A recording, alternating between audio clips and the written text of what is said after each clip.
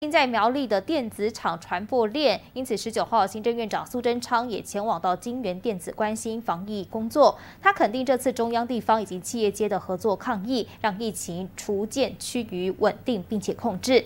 苗栗县二度迎来零确诊，包括了前一天竹南运动中心快筛站有七个人原本是快筛后阳性，PCR 后来是阴性，其实没有大碍，疫情看似趋缓，但县府仍表示防疫不能松懈。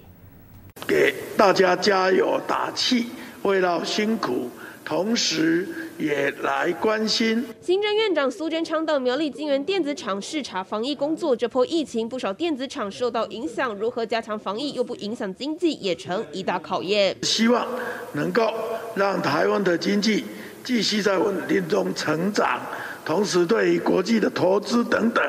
也都能够加码投资台湾。十九号，苗栗县再次迎来零确诊，针对集中检疫所隔离中的高风险移工做全面性 PCR 检测，总共一千四百零五人确诊，一百二十三人，阳性率为八点八帕，采一人一室隔离于集中检疫所及责任医院，让苗栗迈向复原。让本县这波疫情朝清零的目标前进。前一天，竹南运动中心快筛站筛检结果有七人呈现阳性反应，经进一步 PCR 检测结果通通为阴性。疫情看似趋缓，但依旧不能松懈。至于领长是否也会列入施打疫苗对象，县府这么说。已经。